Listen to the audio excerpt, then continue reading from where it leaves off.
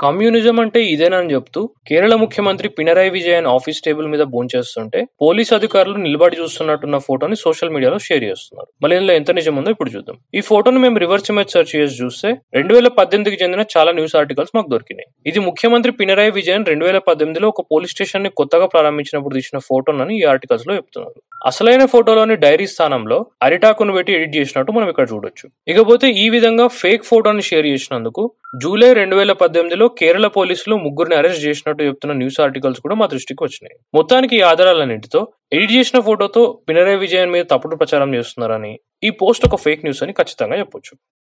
Social మీడియాలో మీకు ఏదైనా పోస్ట్ తప్పుగా అనిపిస్తే ఈ నెంబర్కి ఫార్వర్డ్ చేయండి.